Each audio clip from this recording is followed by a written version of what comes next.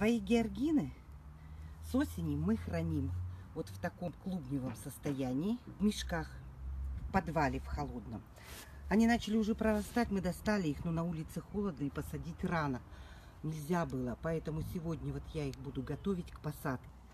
Для того, чтобы георгины хорошо цвели, клубень, который с осени мы опустили в подвал, нужно обязательно разделить на много-много разных вот таких вот, таких вот маленьких клубеньков. Для этого вот я просто беру и вот, извините, вот так вот безжалостно начинаю вот так вот дербанить. Иначе я сказать не могу. Вот свои любимые георгинчики. Оставляю буквально несколько картошин. Вот эти ростки, даже если отпадут, от этих пойдет. Можно и вот это все оборвать, там оставить 2-3.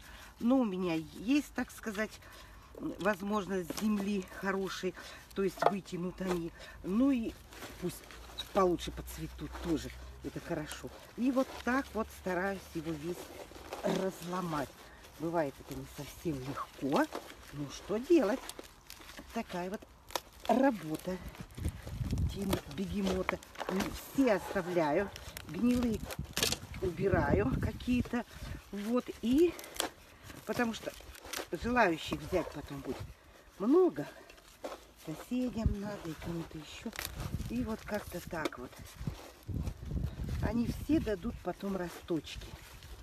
Вот его освободили даже. Ну, который покрупнее, может быть, останется.